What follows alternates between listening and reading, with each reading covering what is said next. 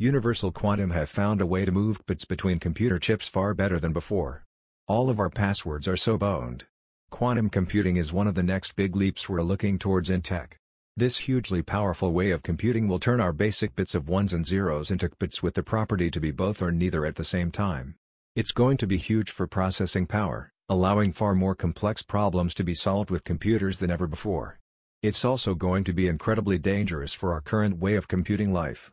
That's why it's good in some ways that quantum computing is still a fair way off for most of us. It's currently difficult to develop, but researchers are coming up with smart solutions every day.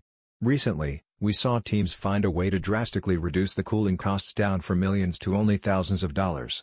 Now, AOL reports researchers from the University of Sussex and Universal Quantum have found a way to move qubits between computer chips far better than before. One of the many hurdles of quantum computing is getting more of those darned bits into the machines. The more bits one of these bad boys is packing, then the more powerful they can be. Though it's not necessarily as easy as shoving more bits inside. Right now when we think of quantum computers we're generally thinking in the hundreds of qubits.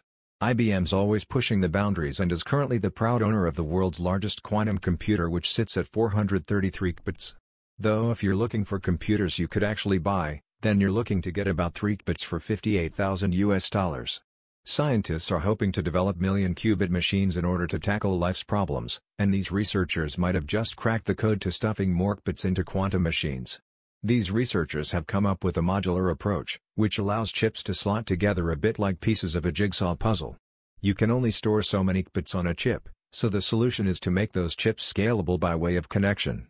The researchers have used electric fields to link the chips, and the bits can move between them, breaking world records for both speed and accuracy. Not only are they achieving a 9.999993% success rate and a connection rate of 2424/s, they're also able to maintain the quantum properties of the qubit. This marks the potential for very scalable and stable quantum computing.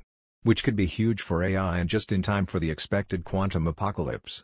As with most research we see on the cutting edge, I wouldn't expect to see these solutions implemented anytime soon. There's likely far more testing to be done, and we're likely still a long way off seeing any qubits in the family home. Besides, there's still plenty of solutions needed before we can go truly quantum. Once they're done curing cancer and solving climate change, I can't wait to see what the future of PC gaming looks like when we do.